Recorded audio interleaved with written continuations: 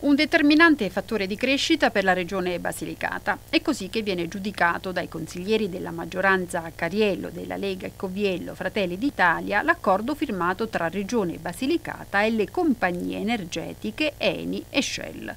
Per Cariello l'accordo rappresenta un'ulteriore promessa mantenuta da questa amministrazione, con tantissime risorse in più per tutti i lucani.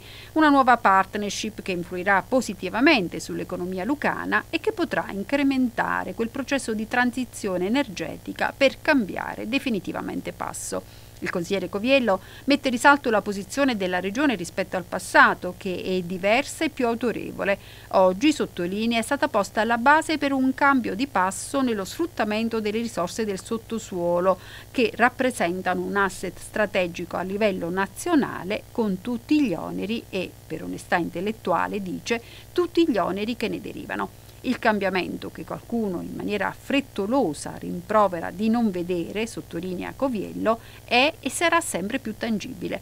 La transizione ecologica e le opportunità dell'economia circolare sono la sfida del prossimo futuro e siamo pronti a coglierle.